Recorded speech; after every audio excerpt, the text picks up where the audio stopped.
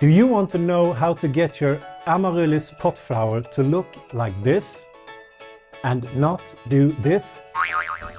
We will give you five simple tips on how to succeed with your potted amaryllis every time.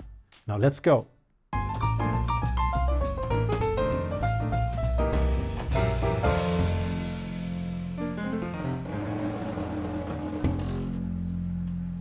Number one, when you get your potted amaryllis to your home, it usually looks something like this. You have the buds coming out from the bulb here. And the first thing you do is that you put this in an outer pot, like this. Do not repot. You don't have to do that because everything this amaryllis needs is inside of the bulb here. Number two, take your amaryllis and place it somewhere where it gets a lot of light it cannot get too much light. Because what happens if you placed it somewhere where it's really, really dark, you will get this. It will start to grow and grow and grow and grow towards the light. And as you can see here, this stem is really, really long and it's nowhere near actually putting out the flowers here. So it gets to be too long and it actually gets to get wobbly. And once the flowers actually come out from here, it gets even heavier and it could break. But by placing it somewhere where it gets a lot of light, you will get it to be a lot shorter. And it will be able to sustain itself without falling.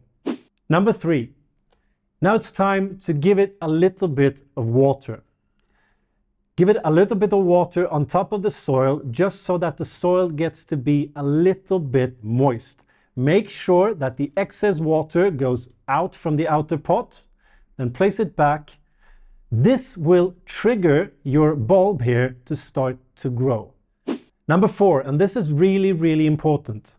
Now you just wait. You do not add any more water until you see that the bud here is starting to open and reveal the flowers. The only exception to this rule is that if you see that the stem is starting to hang or sag a little bit, you need to add a little bit of water. But if it doesn't, and it will probably not, just wait, don't add any more water. Number five, after the flowers have started to come out, you can keep the soil moist at all times. Because now, when the flowers opened up, the stem will not grow any taller. It will stop where it is. This will also help the flower to keep and stay healthy for as long as possible. Just make sure to remove any excess water from the pot so that it's not standing in water, but keep the soil a little bit moist. You can now also move your potted amaryllis to a darker placement if you want to. But if you have it in a light spot, it will flower for a longer period of time. Now if you follow these simple five steps, you will have success with your potted amaryllis every time. Now, if you like this video, please give it a thumbs up. That really helps our channel a lot. If you haven't subscribed to our channel yet, please do. Hit the bell as well so you get a notification every time we put up something new. Follow us on Facebook and Instagram where you can get sneak previews on upcoming videos and sometimes a little bit more. Now until next time, hej då!